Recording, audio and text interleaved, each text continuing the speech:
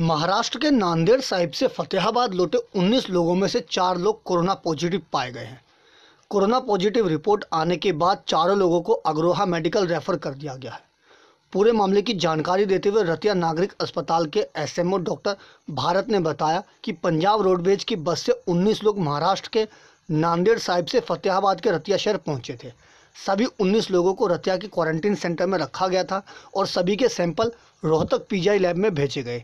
देर शाम 19 लोगों की जाँच रिपोर्ट आई, जिसमें तीन महिलाओं और एक पुरुष की रिपोर्ट कोरोना पॉजिटिव प्राप्त हुई। इसके बाद कोरोना पॉजिटिव चारों लोगों को अग्रोहा मेडिकल में भेज दिया गया है और अन्य सभी लोगों को अलग अलग आइसोलेट कर दिया गया है।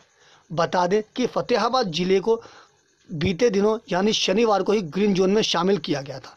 लेकिन शनिवार शाम को ही चार लोगों की कोरोना रिपोर्ट पॉजिटिव मिलने के बाद फतेहाबाद के ग्रीन जोन में शामिल होने को लेकर प्रशासन की चिंता बढ़ गई है। लोग उनके साथ आए ये एक्चुअली थर्टी थर्टी अप्रैल को नाइन्टी प्लेज में आए थे नंदेड़ से महाराष्ट्र से बाई पंजाब रोडवेज़ उनको हमने उसी टाइम आते ही किसी हमने इनको इनको क्वारंटाइन कर दिया सेंटर के अंदर यूनिवर्सिटी के अंदर।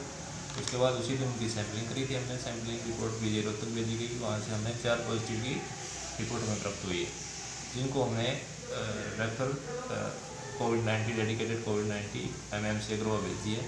बाकी पेशेंट को अलग अलग सेपरेट आइसोलेट कर दिया गया टोटल कितने सैंपल लिए गए थे सर टोटल इनके 19 सैंपल लिए गए।